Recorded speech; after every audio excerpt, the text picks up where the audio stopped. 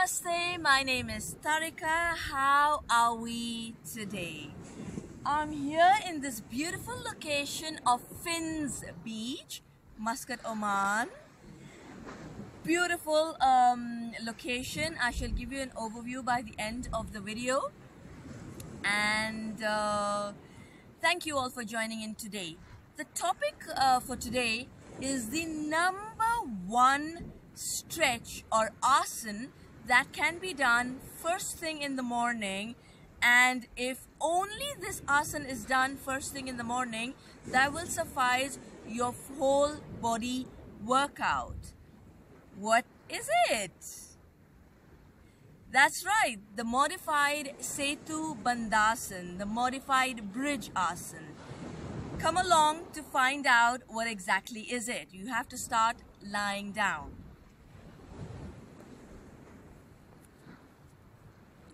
To start in a lying down position,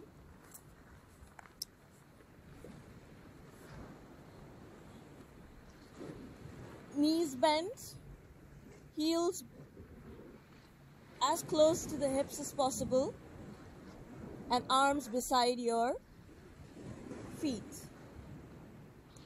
The easiest and simple stretch. Anyone can do this and I guarantee you, you will thank me that this done alone or with your other asanas will give you the greatest benefit. All we have to do is lift our arm and go diagonally stretch diagonally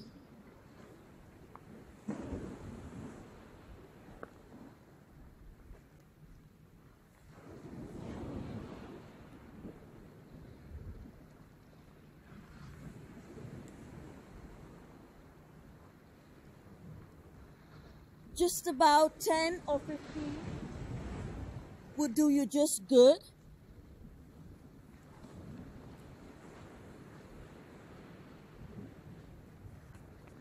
So you see this in my humble opinion is the number one asana that gives you a nice counter posture for uh, the whole night lying down which actually just happened to me before the trek this morning. I realized that the night sleep was not as comfortable as I am accustomed to and hence there are a lot of um, um, aches and pains and joints and body is not in the optimum uh, posture.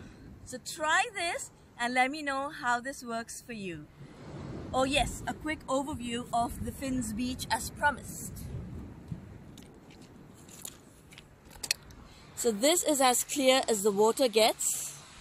And that's the beautiful sunrise happening.